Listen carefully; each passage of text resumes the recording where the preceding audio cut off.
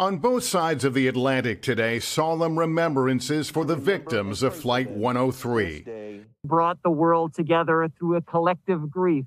Kara Weipz, lost her big brother Richard. I just remember hearing that, you know, a plane traveling from London to New York went missing.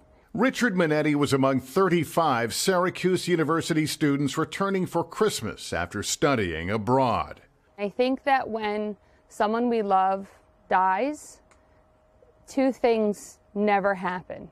You never stop missing them, and you never stop loving them. Or in the case of Pan Am Flight 103 families, never stop pushing for justice.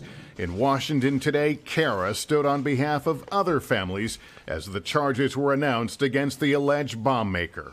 The motto of the family members over the past 32 years has been the truth must be known.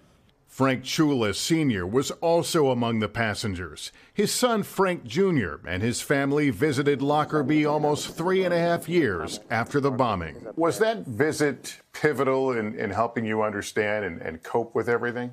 It was really important for us to put uh, a face, uh, so to speak, on, on what had happened, to see Lockerbie.